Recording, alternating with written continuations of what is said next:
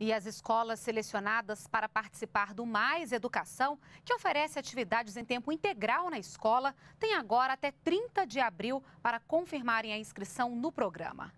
Sobre esse assunto, a gente conversa agora com o repórter Ricardo Carandina, que tem os detalhes. Boa noite, Carandina.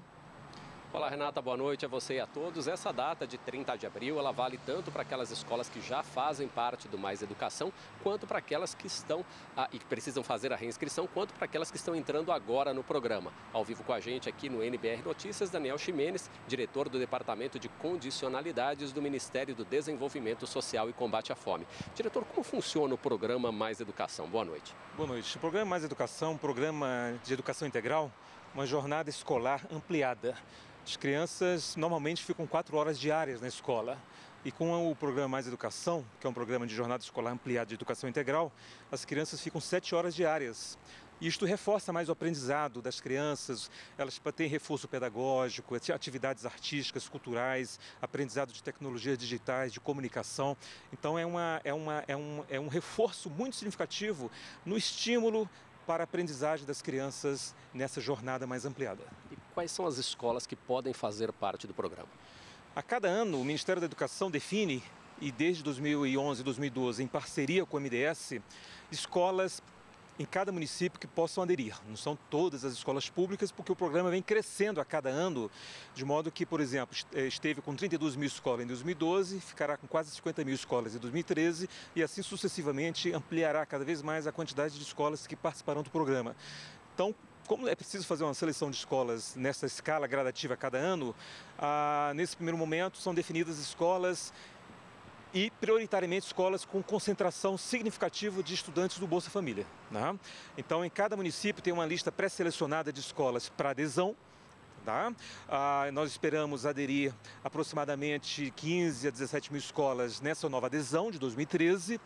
A lista de escolas de cada município é possível acessar no CIMEC, que é um sistema do Ministério da Educação, www.cimec.gov.br e também no sistema do Bolsa Família, o SIG-PBF, né, que é acessado no site do MDS, www.mds.gov.br, em que a lista de escolas por município está estabelecida. Então, cada gestor, cada localidade pode observar e checar essa listagem nesses sistemas. Né. E a partir daí, o que, é que a prefeitura interessada em inscrever uma das suas escolas que faça parte dessa lista deve fazer?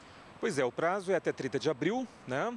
E é preciso primeiramente, uma, um trabalho forte lá no município de chegar na escola, né, convencer a escola, porque a escola tem que aderir né, para, para, para este programa, explicar a, a, a importância do programa, a, o ganho que isso representa para a escola, portanto, no conjunto das escolas do município que vier, a aderir, né, o ganho que isso representa para o município são recursos extras que chegam para o município, para a escola, né, é, para poder fazer essa jornada de sete horas. Recursos de tutores, de materiais pedagógicos, de professores, né, de reformas, pequenas reformas que sejam necessárias, construção de alguma quadra. Então, é uma, é uma oportunidade bastante significativa para o município e para essas escolas e, fundamentalmente, para as famílias e para as crianças né, terem essa oportunidade. Como foram priorizadas escolas com grande concentração de alunos do Bolsa Família, é uma oportunidade em especial é, social, né? porque essas crianças são de famílias muito pobres, com os pais com muita baixa escolarização muita dificuldade no ambiente familiar de ter uma exposição, um incentivo, uma condição de apoio à aprendizagem e com essa jornada de sete horas, isto é muito bom para essas famílias, para essas crianças, né, diante desse cenário que se apresenta de jornada escolar ampliada. Tá bem, então obrigado aqui, Daniel Ximenes, diretor do Departamento de Condicionalidades do Ministério do Desenvolvimento Social e o programa atende neste ano, até agora, quase 5 milhões de estudantes da rede pública em todo o país. Renata. Obrigada, Carandina, pelas informações ao vivo.